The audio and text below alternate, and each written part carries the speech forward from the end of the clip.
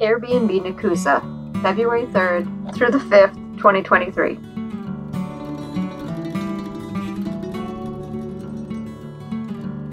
Snowshoeing the property.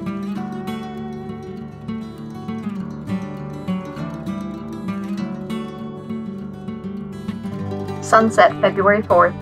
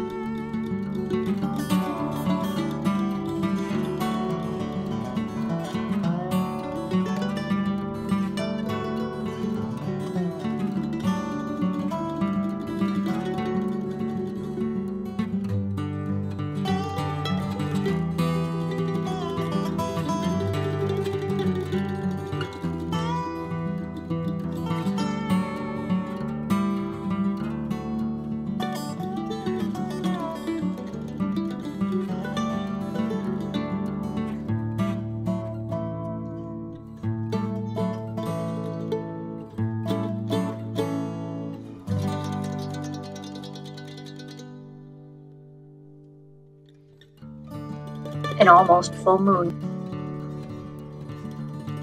Sunrise, February 5th.